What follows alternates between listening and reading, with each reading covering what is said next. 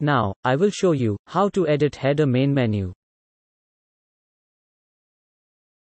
First of all, I will show you how to create this type of mega menu. We can make this types of mega menu for our blog labels and categories.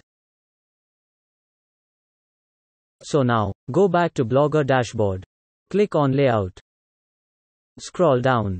Go to main menu widget and click on edit icon. Click on add a new item.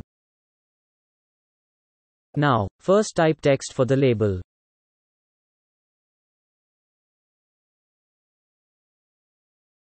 Now, first type label.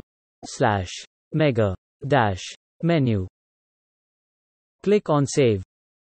Now, follow same steps to add more labels on main menu.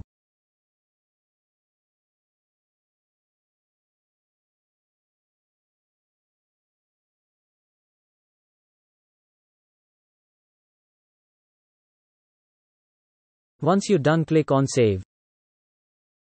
Go back to our blog. Reload the page. Now, you can see we added labels with featured image. Now, let's say we want to add page or post link on main menu.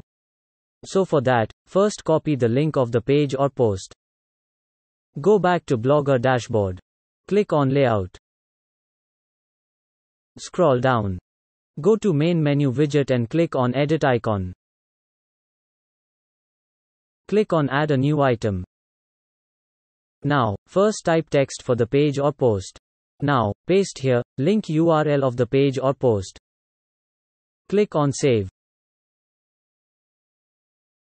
Now, if you want to add external link, then simply type text for external page. Paste external link URL. Click on save. Once you're done click on save. Go back to our blog. Reload the page. Now, you can see we updated our main menu.